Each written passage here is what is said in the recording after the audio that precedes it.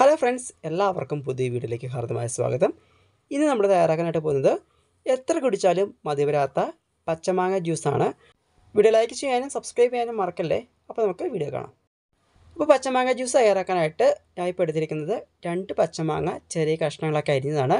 പിന്നെ എടുത്തിരിക്കുന്നത് പച്ചമുളകാണ്. ഞാനിപ്പോൾ ചെറിയ രണ്ട് പച്ചമുളകാണ് എടുത്തത്. നല്ല എരിവുള്ളതാണ്.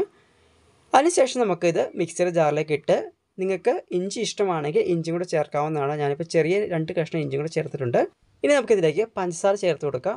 നിങ്ങൾക്കിപ്പോൾ എത്രയാണോ മധുരം വേണ്ടത് അതനുസരിച്ച് പഞ്ചസാര ചേർത്ത് കൊടുക്കാവുന്നതാണ്.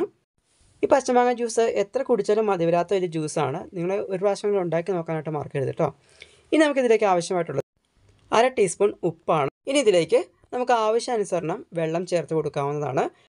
ഞാനിപ്പോൾ ഫ്രിഡ്ജ് വെച്ച തണുത്ത വെള്ളമാണ് ചേർത്ത് കൊടുക്കുന്നത്. ഇപ്പോൾ നിങ്ങളുടെ കയ്യിൽ തണുത്ത വെള്ളം ഇല്ലെങ്കിൽ സാധാരണ വെള്ളം ചേർത്താലും മതിയാക്കും അപ്പോൾ ഇതെല്ലാം കൂടെ നന്നായിട്ട് അരച്ചെടുക്കുക.